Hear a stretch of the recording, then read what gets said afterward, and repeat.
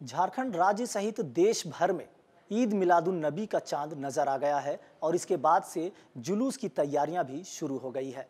इस मुद्दे पर बात करने के लिए हमारे साथ इदारे शरिया झारखंड के नाजिम आला कुतुबुद्दीन रिजवी साहब हैं। रिजवी साहब बहुत बहुत स्वागत है जी शुक्रिया। रिजवी साहब बात करेंगे ईद मिलादुन नबी। बड़ा ही बड़ा त्यौहार है और इसे बहुत ही खास तौर पर मनाया जाता है। क्या है ईद मिलादुन नबी और क्या कुछ इसकी तैयारियाँ चल रही है? ईद मिलादुलनबी यानी इस्लामी महीने की का जो बारहवीं रबील अव्वल है रबील अव्वल शरीफ है, इसकी बारह तारीख को प्रॉफिट इस्लाम हज़रत मोहम्मद मुस्तफ़ा सल्लल्लाहु अलैहि वसल्लम की तशरीफ़ आवरी हुई थी। उनका जन्म हुआ था और पूरे वर्ल्ड में इस मौके पर उनका जन्म दिवस, उनका, उनकी योम पैदाइश मनाया जाता है। बड़े धूमधाम से उनमें गरीबों को सहारा देना और जो बीमार हैं उनकी मदद करना, बेसहारों की मदद करना, फिर जलसे करना, जुलूस करना, उसके बाद फिर कुरान खानी, लंगर अलग अलग तो बहुत सारे ये अच्छे काम होते हैं इसमें। और चूँकि सल्लल्लाहु अलैहि वसल्लम पूरी दुनिया के लिए पीस बनकर आए थे, शांति, अमन, सुकून, चैन इत्मीनान बनकर आए थे, उन्होंने शांति का संदेश दिया, पैगाम मोहब्बत दिया, इसको पूरी दुनिया में आम किया। अब पूरी दुनिया के लोगों ने उनको माना, आज भी मान रहे हैं। और उन्होंने ये पैगाम ख़ास तौर से दिया है कि हर एक इंसान आपस में भाई है और पूरी दुनिया एक कुंबे की तरह है। तो जिस तरह से कुंबे में लोग आपस में प्यार मोहब्बत के साथ रहते हैं, वैसे ही रहें। और इस बार इदारी शरिया झारखंड ने नौ तारीख को चाँद के हिसाब से ऐलान किया है कि बारहवीं शरीफ है। उस दिन बहुत सारे हर महलों में सजेंगे, हर महल्ले सजेंगे, मस्जिद हो, मदरसा हो या दीगर चीज़ें हों वो सजेंगे। फिर महल्ले में लोग जुलूस निकालेंगे। सुन्नी बरेलवी सेंट्रल कमेटी की क़्यादत में पूरे झारखंड में इदारी शरिया के नेतृत्व में ये जुलूस मोहम्मदी निकलता है।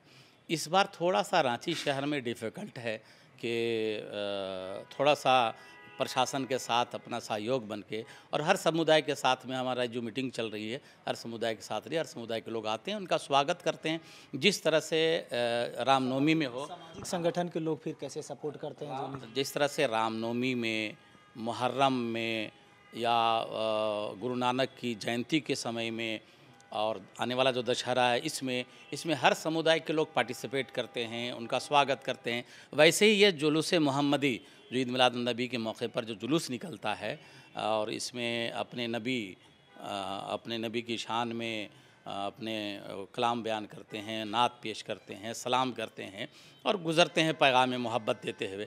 तो उनको उनका स्वागत भी हर समुदाय के लोग, हर एक के लोग करते हैं। साहब, ये ये त्यौहार जो है ईद मिलादुन नबी हमें एकता का संदेश देता है। ऐसे में अभी समाज में जो विखंडता नज़र आ रही है इसे कैसे एकता में बदला जाएगा? मैं समझता हूँ कि ये जो जुलूस है ये जुलूस अगर कोई विखंडता का अंश भी है तो उसको ये जुलूस की ये, ये इस जुलूस का जो पैगाम है उस अखंडता विखंडता का जो अंश है उसको ख़त्म करके एकता की एक मज़बूत रस्सी प्रदान करें। जिस दिन जुलूस है उस दिन दक्षिण अफ्रीका और इंडिया का मैच भी है ऐसे में काफ़ी भीड़ होगी। उसके लिए भी कुछ ख्याल रखा है इस पर भी हम लोगों ने आज मंथन किया है प्रशासन के साथ बैठेंगे।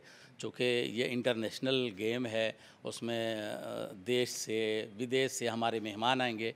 उनको ख्याल रखना उनके साथ अखलाक पेश करना हमारा दायित्व और ज़िम्मेदारी है।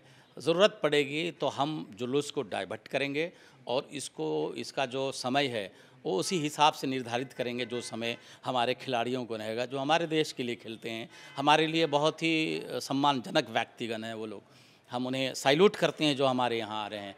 तो ये करोड़ कम हो जाए और किसी तरह के विधि व्यवस्था में कोई प्रॉब्लम ना हो इसका भी ख्याल हम और समाज के साथ मिलकर प्रशासन के लोग भी कर रहे हैं। बिल्कुल तो ईद मिलादुन नबी की तैयारियाँ शुरू हो गई है। चाँद दिखाने के साथ बैठकों का दौर शुरू हो गया है और बड़े ही हर्षोल्लास के साथ तमाम त्योहारों के जैसे ही ईद मिलादुन नबी मनाने की तैयारी की जा रही है, जिसे लेकर इदार शरिया ने भी अपना ऐलान कर दिया है। अब देखना होगा किस रूप से इस त्यौहार को मनाया जाता है और कितना कुछ जश्न का माहौल होगा, ये आने वाला समय बताएगा। अपने सहयोगी राजेश के साथ मोइजुद्दीन समाचार प्लस रांची।